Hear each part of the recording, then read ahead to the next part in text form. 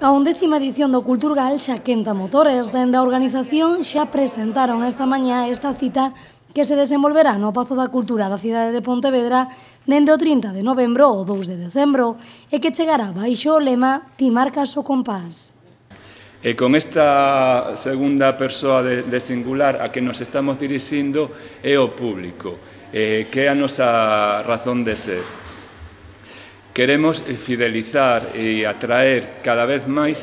eh, ao público de, de calidade, o público que lle temos que agradecer a nosa asistencia, que aquel público que valora a produción eh, das nosas industrias, a produción cultural galega,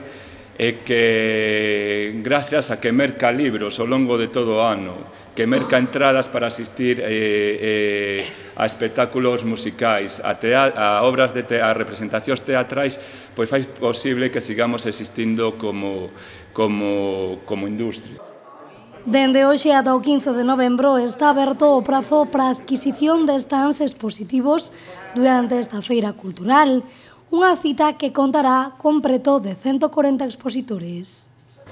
Eh, por outra parte, tamén a partir de hoxe están abertos, está aberto o prazo de presentación de candidaturas de programación cultural, é dicir,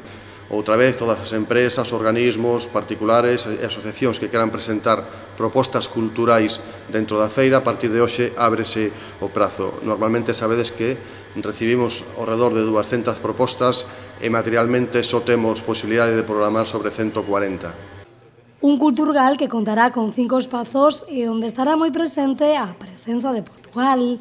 Dende a Deputación agardan que con esta cita os concellos da provincia programen moita cultura do que é da filosofía do Culturgal, que realmente entre en contacto con programadores eh, que hai ali, con industrias que hai ali e que realmente teñan unha radiografía pois en, en un espazo acotado pois do que do que eles pro, poden programar de cultura e do que se move do que move a cultura ao longo do, do país. Unha edición importante que deixará patente a cultura galega e a súa importancia. O que nos gustaría, e dende logo é eh, eh, o que está debaixo do gran do impulso que desde o Concello facemos a Culturgale, que se batan récords de, de contratación, de, de que realmente a programación, os programadores que se achegan á feira das institucións e dos, e dos lugares eh, de calquera outras salas privadas, teatros privados, pois coñezan e, e poidan contratar como primeira medida e como primeira instancia todo o que está acontecendo ao redor da cultura no noso país. Dende a organización agardan poder contar co éxito doutras edicións e superar as 15.000 visitas. Para iso contarán con moitas actividades e espectáculos entre os que se atopa o directo de Carlos Núñez, o sábado 1 de decembro.